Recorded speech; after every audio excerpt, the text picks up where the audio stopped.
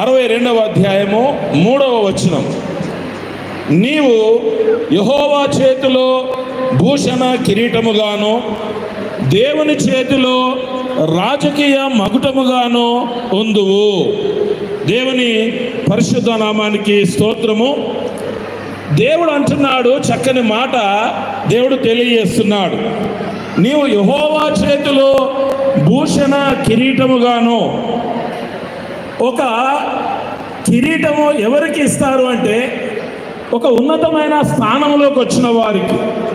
మనం ఎమ్మెల్యే గారిని ఎందుకు గౌరవిస్తున్నాము అంటే దేవుడు వారిని ఎమ్మెల్యేగా ప్రజలకు సేవ చేసే గొప్ప భాగ్యాన్ని ఇచ్చాడు కనుక ఈ మాట దేవుని యొక్క వాక్యములో ఉంది.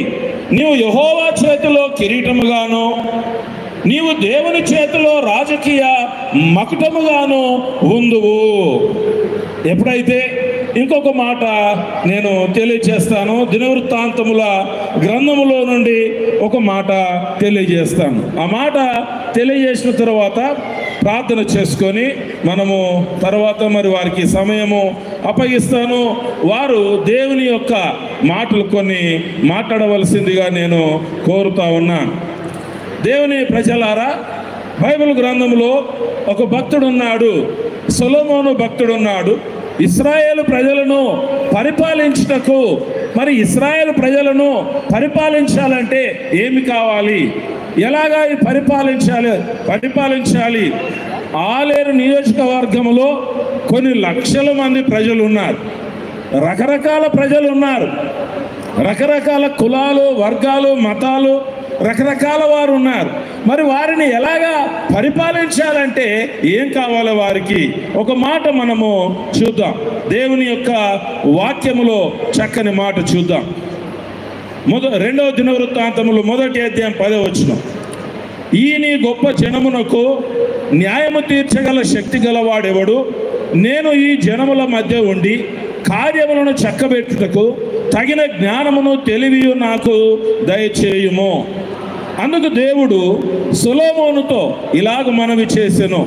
నీవు ఈ ప్రకారము యోచించుకొని ఐశ్వర్యమునైనను సొమ్మునైనను ఘనతనైనను శత్రువుల ప్రాణమునైనను దీర్ఘాయువునైనను అడగక నేను నిన్ను వారి మీద రాజుగా నియమించిన నా జనులకు న్యాయము తీర్చుటకు తగిన జ్ఞానము తెలివిని అడిగి ఉన్నావు. కాబట్టి జ్ఞానముయు తెలివియు నీకు ఇవ్వబడును. నీకు ముందున్న రాజుకైనను నీ తర్వాత వచ్చు రాజుకైనను కలగని ఐశ్వర్యమును సొమ్మును ఘనతను నీకిచ్చేదను. దేవుని నామానికి స్తోత్రము కలుగును గాక సార్ ఐలయ్య గారు పరిశుద్ధాత్మ దేవుడు మీకు ఒక గొప్ప వాగ్దానం ఇస్తా ఉన్నాడు.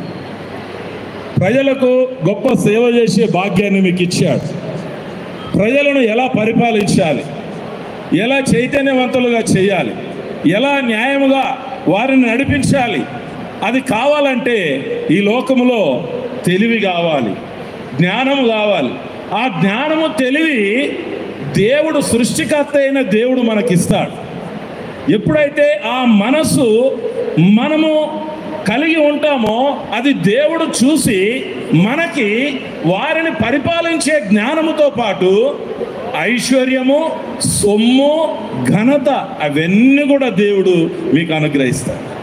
ఎందుకంటే దేవుని యొక్క వాక్యము ఇది నెరవేర్పుతో ఉండేటువంటిది. ఇది నెరవేరినటువంటిది. దేవుని యొక్క వాక్యము మన జీవితాల్లో నెరవేరుతుంది. కాబట్టి ఈ యొక్క ఆలేర్ కాన్స్టిట్యున్సీలో ఉన్నటువంటి ప్రజలను పరిపాలించే గొప్ప జ్ఞానము దేవుడు మీకు ఇచ్చి అన్ని వర్గాల అన్ని కులాల మతాల వారికి సమాన న్యాయం చేసేటువంటి కృపదేవుడు మీకు అనుగ్రహించునుగాక. దేవుని చేతిలో మీరు ఒక గొప్ప రాజకీయ మకుటముగా దేవుడు మిమ్మను నిలబెట్టును గాక దేవుడి మాటలు దీవించి ఆశీర్వదించిన ప్రార్థన చేసుకుందాం. పరిశుద్ధుడమైన మా తండ్రి మా ప్రేమగల మా దేవ కృపగల నాయన దయగల తండ్రి నీ